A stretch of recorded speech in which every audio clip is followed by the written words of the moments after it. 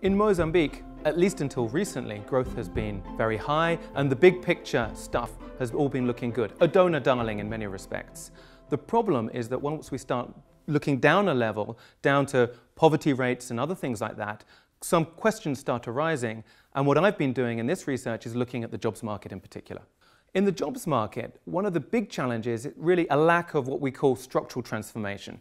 What does that mean? That means individuals aren't moving from lower productivity jobs to higher productivity jobs. So if we look at the, the share of people who are working in agriculture, that has reduced a little bit, but really not very much at all. And in fact, the reduction in the share of people working in agriculture has been driven by people moving from low productivity agriculture to uh, low productivity services. Uh, so that's not really what we call a positive structural transformation story.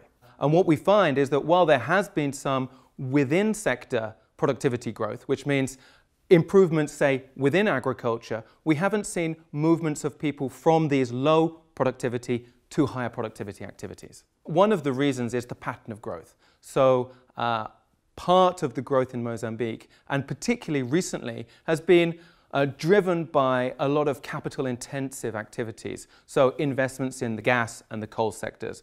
That uh, produces a lot of big picture, good numbers, but at the lower level, it's not producing high quality jobs. The main finding is that individuals in Mozambique are not moving from lower paid, lower productivity jobs to higher paid, higher productivity jobs. To make matters more challenging, population is increasing rapidly.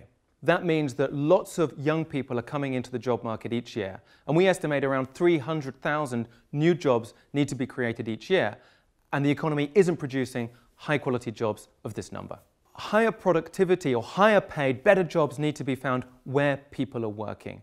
And that means in agriculture. So we need to be able to provide support to people working in agriculture so that their incomes can be higher. I think there are two challenges facing policymakers in Mozambique. The first is to support agriculture.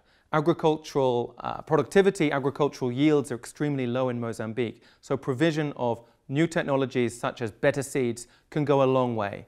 The second uh, challenge is to uh, improve labor intensive manufacturing. That means improving infrastructure, improving skills such that more investors will come in to create labor intensive jobs.